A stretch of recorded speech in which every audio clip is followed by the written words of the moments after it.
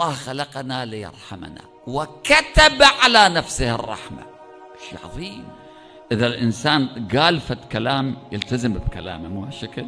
الرجال أت كلامه أت قوله. أعطيك يعني أعطيك. مثلا رب العالمين كتب على نفسه الرحمة. يا خير من سئل ويا أرحم من استرحم يعني أنت الرحمة اللي تشوفها في الدنيا؟ الأم ترحم أطفالها الحيوانات ترحم بعضها. هذا واحد بالمية من رحمة الله. يكملها يوم القيامة مئة رحمة. يرحم ويرحم ويرحم ويغفر ويغفر ويغفر حتى يطمع إبليس في رحمته. يريد يرحمنا يريد الخير لنا. قل من حرم زينة الله التي أخرج لعباده؟